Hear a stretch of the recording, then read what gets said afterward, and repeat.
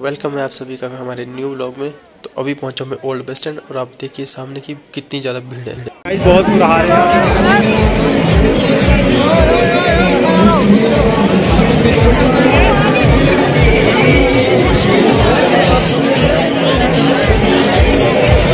बिल्कुल भी जगह नहीं जाने के लिए, बिल्कुल भी नहीं। पीछे और ये मॉल रोड पे इतनी भीड़ होगी ना कर हमारा आगे झांकी के पास जाना था, जहाँ झांकी निकली है वहाँ जाना था। अब देखते कैसे जा पाते। हैं तो आप देख ही सकते कि भीड़ में बहुत बुरा हाल और लोग एक दूसरे के साथ चिपक चिपक के चले हुए, बुरे हाल हो रहे हैं। देखो तो सही।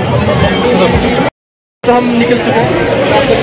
हैं बहुत मुश्किल से निकले यार, बहुत ही ज़्यादा। उन लोगों की इतनी भीड़ खर्चा खर्च है ना। और यहाँ पे जय शूनी माता की। शोर में आपको शायद मेरी आवाज़ सुनाई दे रही कि नहीं सुनाई दे रही है, देखो। सर खाते हुए लोग, यहाँ पे। जय हो माता, जय हो माता, जय हो माता, जय हो माता।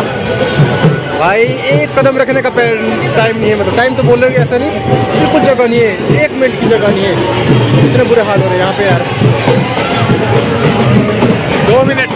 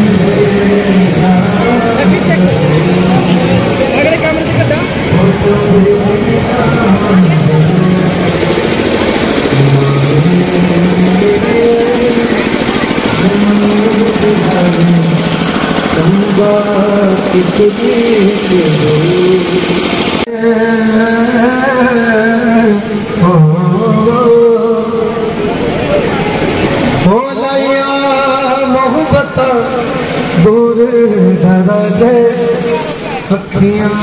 का होया कसूर अखियाँ का होया कसूर हरी हरी हेलो हरी जय जय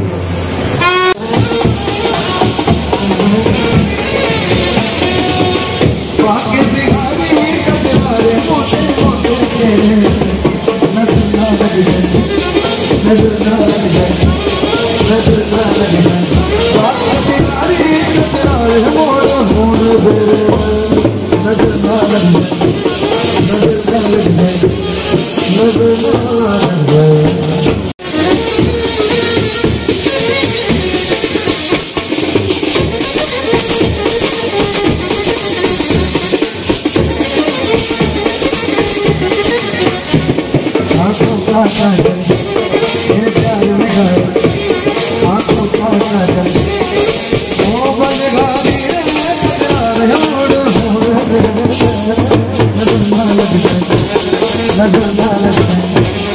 ना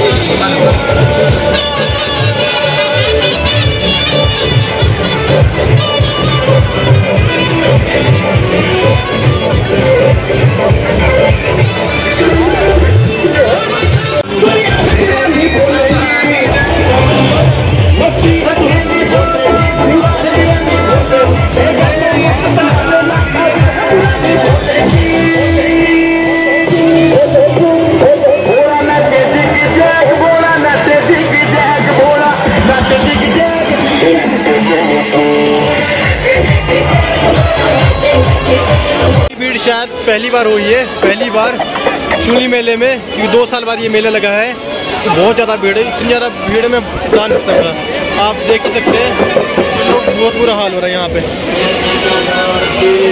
मॉल रोड पूरा खचाखच भरा है पब्लिक के साथ।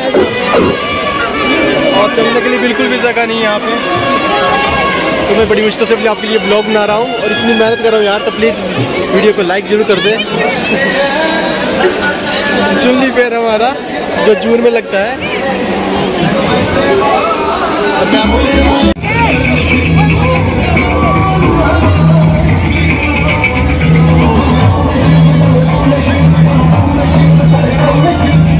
सांस आए। पीछे तो सांस ही रुक गए थे यार, और अभी तो आगे पहुँच गए मैं मॉल रोड। यहाँ पे थोड़ी भीड़ कम है बट भीड़ तो बहुत ज़्यादा है। बट ऐसा कि रास्ते चलने के लिए, पीछे तो जो झांकियाँ निकल रही थी हमारी, जिसमें हमारे हिमाचल का कल्चर शो करते हैं, और आप देख रहे हैं शुल्ली फेयर जो हमारा सोलन डिस्ट्रिक्ट में लगता है। सोलन डिस्ट्रिक्ट जो हमारा हिमाचल में आता है, हिमाचल प्रदेश के, ये हमारा एक राज्य है। और यहाँ पे आप देख रहे हैं हमारी संस्कृति, पहाड़ी कल्चर पहुँच चुका हमें राजगढ़ रोड। बड़ी मुश्किल से भाई निकले इसे अंदर से, मॉल रोड से जो मॉल रोड है। यहाँ से। और अब राजगढ़ रोड भी भाई खचा खची भरा है, बिल्कुल ही ज़्यादा। मुझे तो ये समझ नहीं आ रहा ना भाई, कितनी ज़्यादा भीड़ यार कैसे हो गई?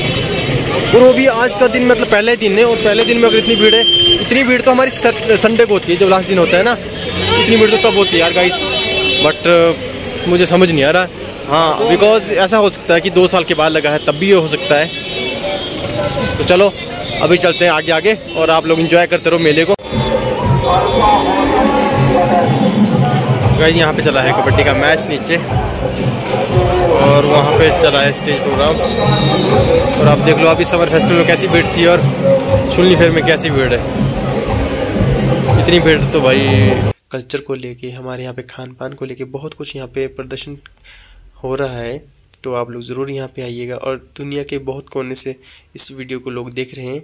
तो मैं चाहता हूँ कि वो हमारे हिमाचल की जो संस्कृति है, उसको देख के और उसका आनंद लें और इस वीडियो के थ्रू मैं बस यही उन तक मैसेज पहुँचाना चाहता हूँ कि देखो, हमारा यहाँ का जो कल्चर है ना, वो सबसे अलग है। मतलब कल्चर तो सबके अलग अलग होते हैं बट हिमाचल का जो कल्चर है, वो सबसे अलग है।